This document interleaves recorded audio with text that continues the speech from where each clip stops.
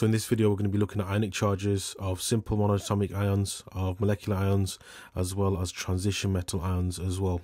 We're going to use that information to form a formula for a compound itself, using those ions reacting together, and then we're also going to name it as well.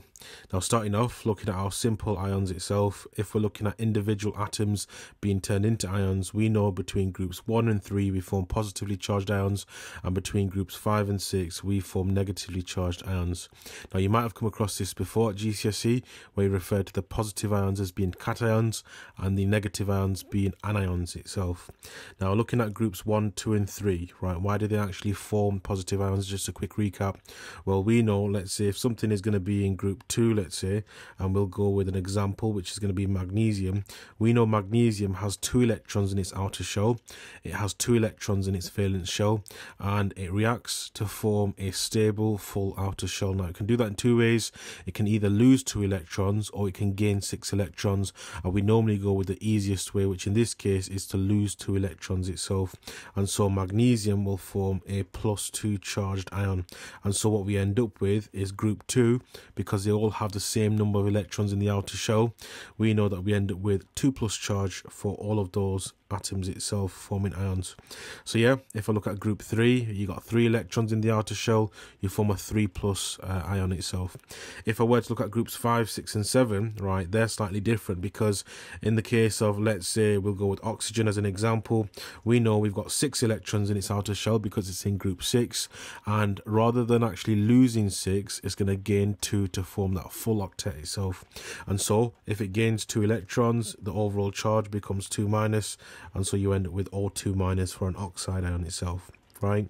So there's our first part done in terms of predicting the actual charge of an ion, looking at what group it's in. Now you might have noticed that I skipped out three uh, kind of areas on the periodic table, one of them being the noble gases, which of course we've got a full octet, a full outer shell of electrons, our valence shell is actually full so we don't actually lose or gain any electrons. We also skipped out group 4, which of course doesn't actually form ions typically, and then the final part, which is this chunk in the periodic table over here, our D block elements, right? These actually have variable oxidation states.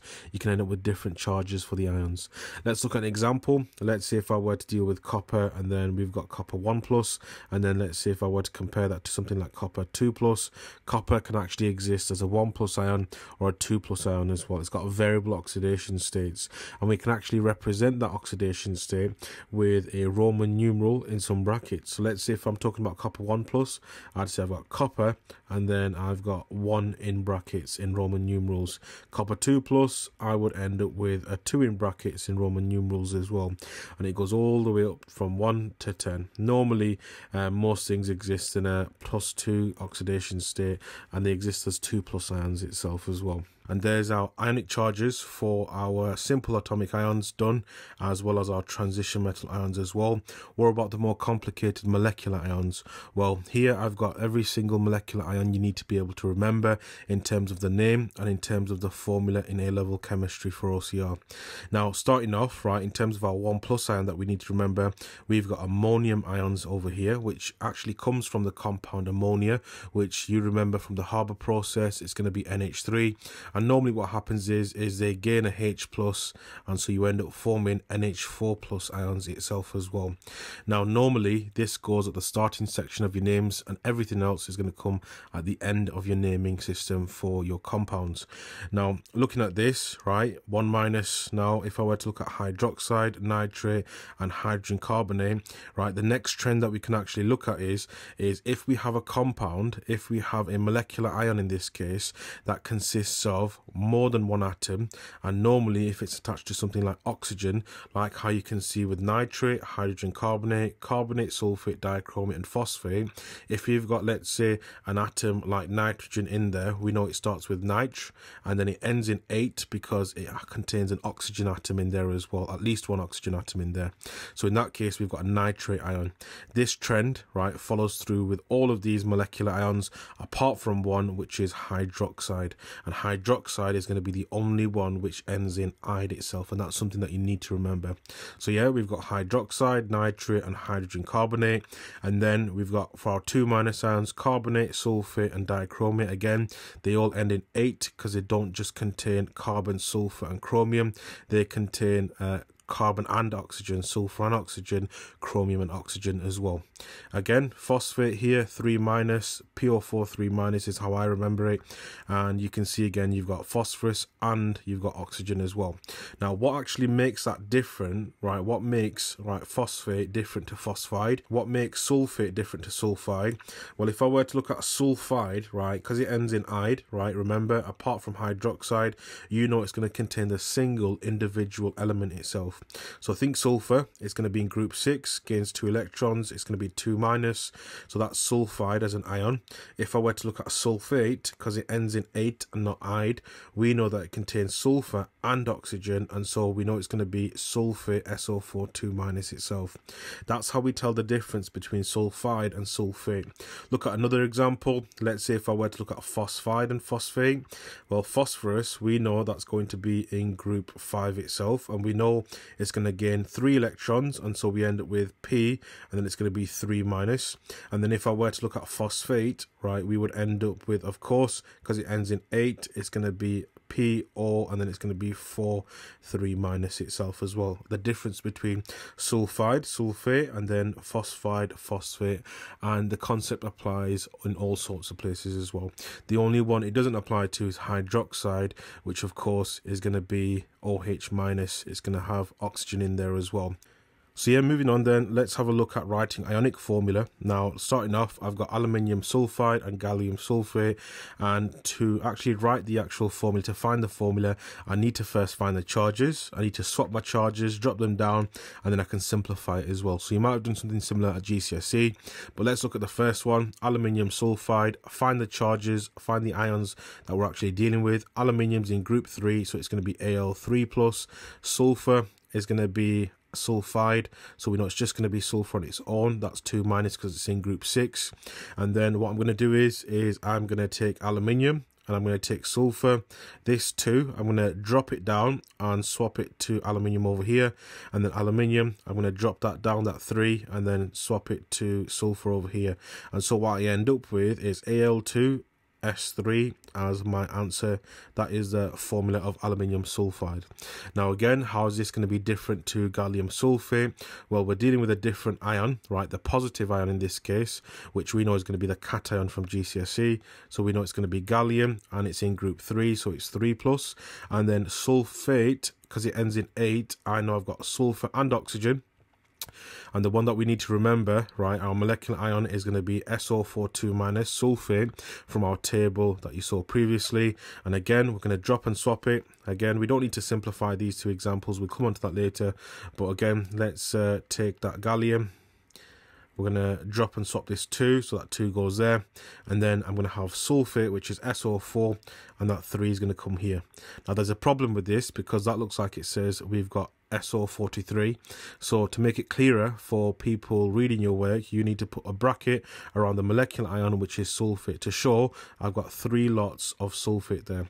So I end up with Ga 2 and then open bracket SO4 close bracket and then 3 there's gallium sulfate itself so yeah moving on feel free to have a go at the following examples. Here I've got six examples for you to find the formula of and uh, pause the video. Once you're ready to move on uh, you can resume and we will uh, continue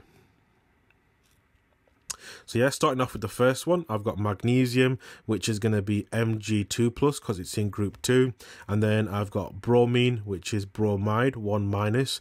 Now, of course, right, the whole objective of this is, is you need to get this neutral. And you've got to think, if I've got two lots of positive charge and I've got one lot of negative charge, how can I make that balance? I can times the number of bromides by 2 or right it's systematic for me. I just use a swap drop and simplify method. So I end up with of course mg which is going to be 2 plus, and we know we're going to have one lot of it, and then we're going to have two lots of bromine in this case. The next one, I've got potassium oxide. Potassium, we know it's going to be K plus, oxide is O2 minus, and it's going to be the same thing again, but I'm going to flip it, so I end up with, of course, two lots of potassium and then oxide, so there's potassium oxide, and then sodium nitride, so sodium is going to be Na plus, nitride ends in ide, it's going to be 3 minus, and then if I were to swap it I end up with Na that 3 comes over here. And then I end up with nitride there as well there's sodium nitride. So there's the first three done. Nice straightforward and easy from GCSE now looking at the next one I've got magnesium oxide which is Mg2 plus. I've got oxide which is going to be uh, 2 minus over here as well. So magnesium is 2 plus oxide is 2 minus. I swap and drop it and I end up with Mg 2 or 2 which is actually going to be wrong. Now the reason why is because here this is where the simplify part comes from. We need to simplify it by finding the lowest common multiple by dividing by 2 in this case and we end up with just MgO itself and that's correct there now. What about the next one? I've got ammonium. So again an ion that we need to remember which is NH4 plus. Again we need to check the sulfur. It ends in ate so we know it's not going to be sulfide where it's just S2 minus it's going to be SO42 minus. And of course we swap and drop it. And we end up with the following of two lots of ammonia which is NH4 and then 2 and then I end up with sulfate there as well. There's the next one done. What about this one over here? A bit trickier but you've got to remember if you're given the oxidation state if you're given the charge of iron you need to be able to use that. So it's not going to be iron just on its own. We know the charge of it, it is going to be 3 plus in this case and nitrate of course we have to remember it ends in ate as well so it's not nitride. It's going to be NO3 minus. And of course we would end up with in this case Fe one lot of it and then we would end up with three lots of NO3 itself so in this case you can see the 3 comes outside the bracket as well and there's the last one done so moving on, I want you to have a go at the following, where you're working in the reverse direction, where you're actually naming these compounds as well. So again, feel free to pause the video and have a go at the following. So yeah, starting off with the first one, aluminium, we've got over here, that's the metal. And then again, we've got oxygen on its own. There's nothing else attached to it. So we know, of course, it's just going to be oxide. Nice and simple. The metal normally comes first. And then we have the non-metal coming last. So positive ion first, negative ion comes last. So there's the first one done, aluminium oxide. What about the next one? We've got sodium, and then it's not going to be sulfate here because it's only sulfur with no oxygen attached to it. It's going to be sulfide itself. So we've got here sodium, and then it's going to be sulfide. What about the next one? So again, if we split up the ions, the positive ion in this case is going to be barium, the metal in group 2 and then the negative ion it's not going to be sulfide.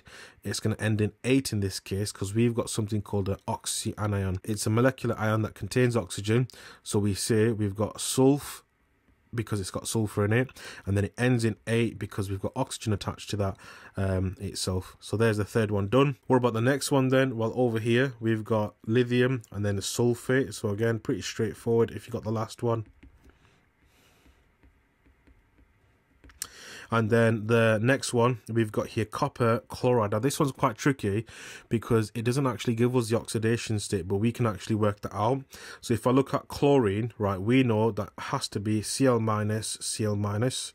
So that must mean the remaining copper, that copper to balance it out to make a neutral overall charge, we know it must be 2 plus. Now if it's 2 plus, remember you need to use the Roman numerals with a 2 in some brackets. And what you can put for the name is, is we you've got copper and then in brackets after the copper put 2 and then you've got copper 2 chloride which of course is different to copper 1 chloride itself. Looking at the next one i can see here i've got ammonia as an ion. It's quite hard to see because there's quite a lot going on there but there's ammonia. And then i've also got the carbonate ion which we know is 2 minus itself.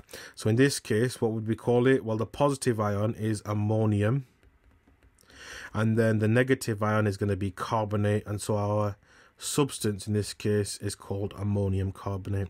And there's that one done there